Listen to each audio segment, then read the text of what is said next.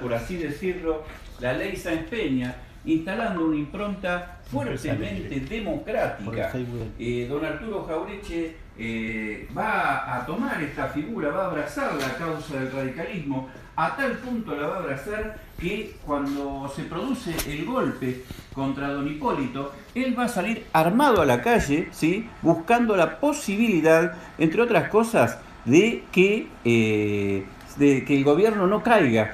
Don Arturo Jaureche es este, puesto preso ¿sí? y tuvo así, como quien dice, un poquitito así de, eh, de no ser fusilado junto a otros compañeros de armas que defendieron la causa radical, en este caso la defensa de la democracia.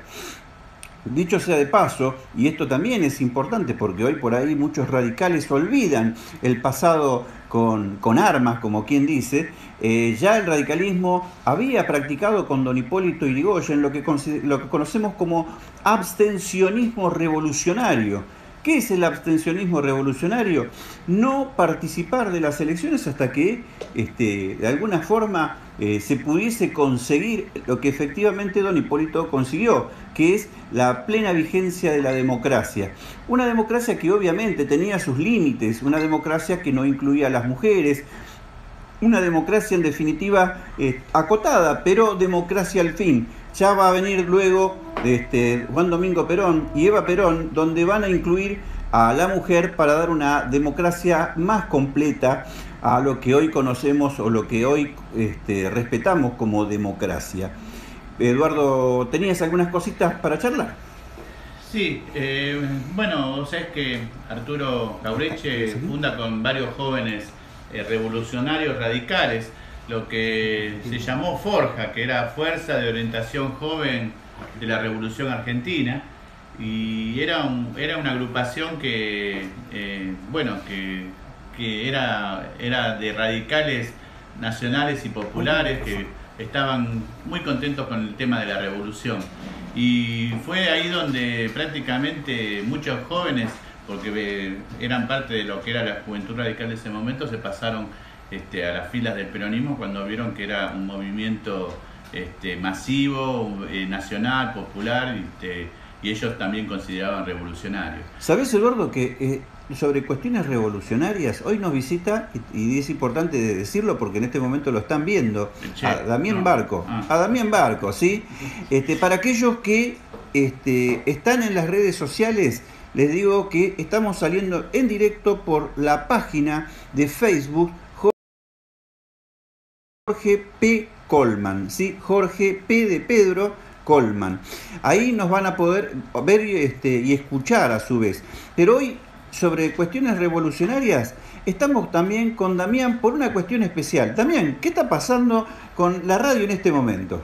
Bueno, hola, buenas tardes. Eh, acá estamos intentando hacer unas pruebas y transmitir en vivo con una cámara en 360 grados.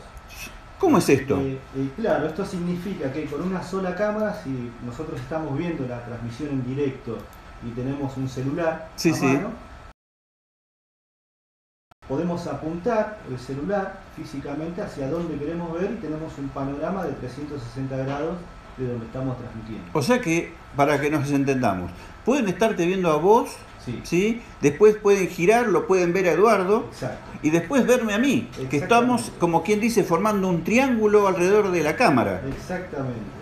Esto es este, verdaderamente novedoso, este, ¿no, Damián? Sí, la verdad que sí. Hace muy poco tiempo que, Facebook habilitó para que estas transmisiones puedan realizarse desde cualquier eh, cuenta particular o personal. Antes solamente podían hacerlos algunas entidades gubernamentales o otras entidades. Ahora, hace unos meses, se puede hacer desde cualquier cuenta de Facebook, eh, siempre y cuando tengamos eh, una cámara de 360 grados y un ancho de banda también correspondiente para que nos deje transmitir con una buena calidad.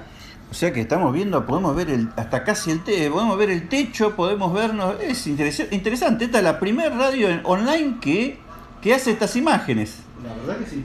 O sea que teníamos algunos mensajitos de Cris Julián que nos estaba viendo, también de Guillermo César, decía hoy no hay televisión. bueno, ahora ya, ya nos podés ver. Este, nos pueden ver por las dos cuentas, de, por, nos pueden ver por la página en este caso por Jorge P. Colman, o pueden vernos por, en Facebook también por JP Colman. O sea, por las dos cámaras, hay dos cámaras, una cámara tradicional, nos pueden estar viendo este, por Jorge P. Colman y, este, y en 360, imágenes en 360 desde JP Colman. Es interesante. Pues es que este, cuando estaba hablando este, Jaureche, ¿no? en exclusivo para nuestro programa, este, desde el más allá. desde el más allá, ¿no? Porque, eh, Cris Julián nos escribió, este, estaba muy copado porque le gusta mucho la historia argentina, dice Joya, el interventor de las provincias, Hipólito Yrigoyen, para que se aplique la ley Sáenz Peña una vez en el poder. Perdón, me copé a opinar. No, adelante, estamos eh, deseosos de que todos opinen y, puedan mandar saludos y contarnos qué es lo que están este, eh, viendo, lo que están, si salimos lindos o salimos feos. Opa, muy bien, ahí nos está mostrando. También, ¿por qué no haces, un favor? Te acercás a aquella, a aquella cámara y le mostrás a la gente que está viendo por la otra cámara cómo se ve. Ay, un poquito más cerca. Eh, ahí está. Moviéndola, ahí, ahí me ven a mí. Oh, oh, muy bien. Y moviéndola un poquito más, por ahí nos vemos a Eduardo. ¿Dónde anda Eduardo? Ay, ay, hay que girar mucho. bueno, eh, se está viendo también Eduardo. Estamos jugando un poco, como verán. Yo te veo solo, ¿eh? ¿Sí? ¿Me ves a mí solo? Sí. y, me veo a mí. Y bueno, pero que hay que hacer un ejercicio ahí. Hay que aprender a usar, Eduardo. Yo sé que a las personas mayores les cuesta más la tecnología, ¿eh? nosotros los jóvenes. Ahí está, muy bien. Damián, la verdad, este, te agradecemos un montón porque estos, este, estos, estos avances y muchos de los arreglos que tiene la radio, esto debemos decir y agradecerlo públicamente, además de decir que Damián trabaja en esto y trabaja también en un estudio de grabación que ya habíamos mencionado en el anterior programa, eh, realmente el trabajo que viene haciendo en la radio es maravilloso porque nos viene este, aportando día a día alguna cosa nueva ¿sí? en la radio. Eh, ¿Vos alguna vez trabajaste en radio, Damián? Eh, solamente en la parte técnica, siempre detrás de la consola. Siempre detrás de la consola. Qué interesante esto. Ahora, este, digamos, ¿qué más nos depara ¿no? hacia adelante? Eh, la tecnología, porque esto es una, esta es una camarita que está instalada en un lugar casi central de, nuestra mesa de trabajo y que transmite, y este, decimos un poco, ¿qué más hace esta cámara de 360? Porque por ahí hay muchos les puede interesar realmente. Siempre depende de los modelos, ¿no? Particularmente esta es eh, sumergible, es muy resistente a los golpes, tiene dos micrófonos, o sea que el audio que transmite es en estéreo. Ah, qué interesante. Tiene una capacidad interna de 64 gigas es bastante. 64 gigas. Viene con los accesorios para cualquier deporte que se practique. Para cualquier deporte extremo viene con arneses, flotadores para usarlo en el agua porque es sumergible hasta 10-15 metros, así como está, sin ninguna carcasa adicional. Es la que se usa, eh, digamos, en los cascos cuando se hace bicicleta. generalmente ese modelo se llama GoPro. El GoPro es ese. Esta supuestamente es, mucho mejor que, la GoPro. Es ideal para instalarlo, por ejemplo, en un dron. ¿Sí? Lo único que te puedes jugar en contra en un dron es el peso. tiene un peso considerable que si el dron, bueno, si el dron no tiene la, fuerza para levantarla la cámara, se, le va a complicar un poco. Eduardo, qué, deporte extremo harías con, esta cámara de 360? Mira, vos sabés que, aunque a vos te parezca mentira, yo soy instructor de un deporte extremo. Ah, esa, eh, vamos. Me gusta mucho. A ver, dale, contá, Es un deporte que se practica mucho en Mendoza. Eh, específicamente donde yo lo, he practicado más, eh, no es en la ciudad de Mendoza, sino en la ciudad de San Rafael. Una eh, caja de sorpresa realmente. A ver, contanos qué. Es este, bueno, somos siete personas que vamos en una lancha, ¿no? Una balsa. Este, ¿Balsa? sí, se llama balsa por lo general. Lo que pasa es que para explicarle un poquito a la gente es es algo, es, esas que son inflables al, todos al costado. Ajá. Entre 6, 7 personas. El, famoso gomón. Exacto, el gomón.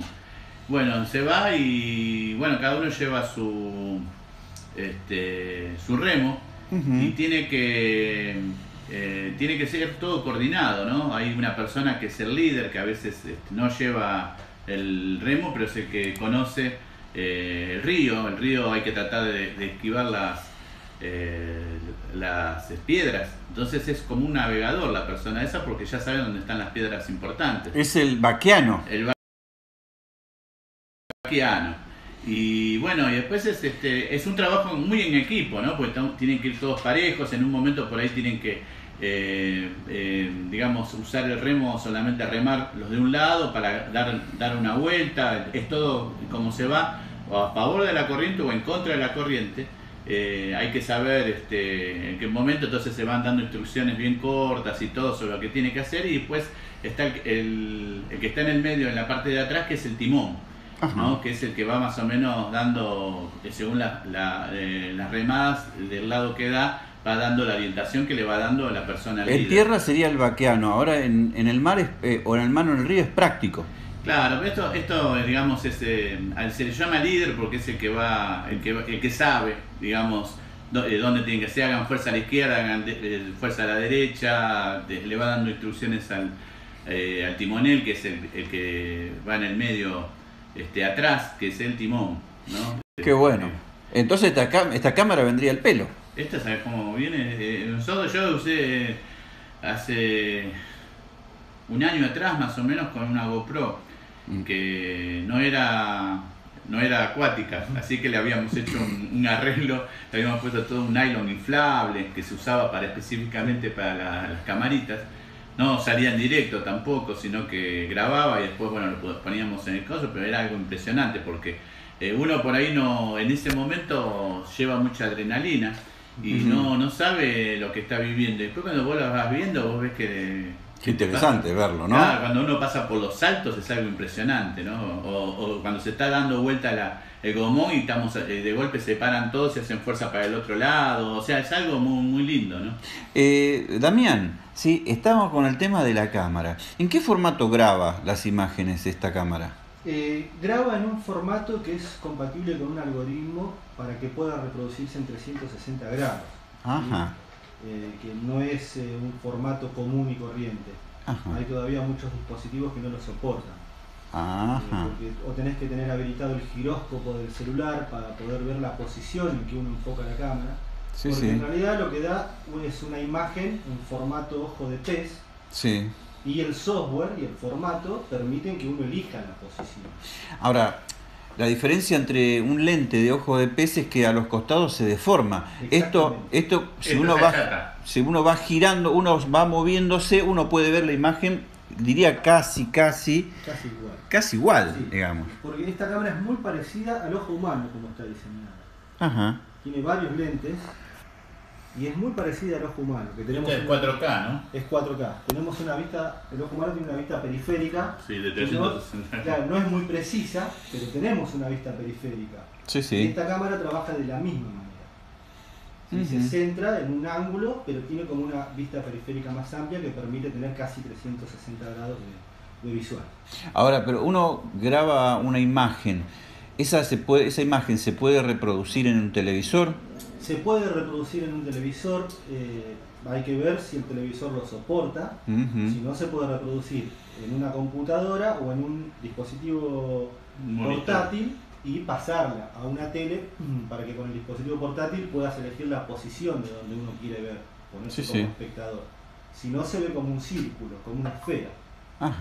Se ve como una esfera, uno puede hacer zoom, tiene un zoom hasta de 5x, eh, si no me equivoco, para hacer acercamientos y si te alejas se ve como una esfera Vamos al primer tema musical. Vamos. Vos, Eduardo, cuando andabas en, en, este gomón, andabas con alma y vida, ¿no? Ah, sí. bueno, Alma y Vida es un. Vamos a pasar un tema de Alma y Vida, ya habíamos contado que era el grupo que acompañaba a Leonardo Fabio en los 70, en los 60 y pico, 70, los acompañaba musicalmente.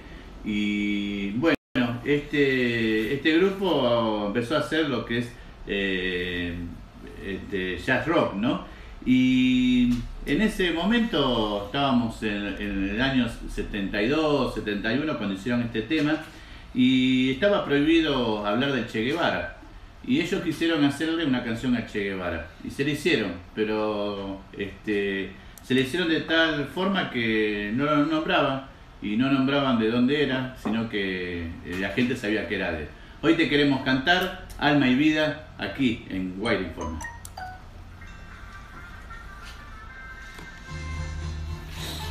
Sí. ¿Querés cortar la, la transmisión de ahí? Ajá. De tu teléfono. ¿De mi teléfono?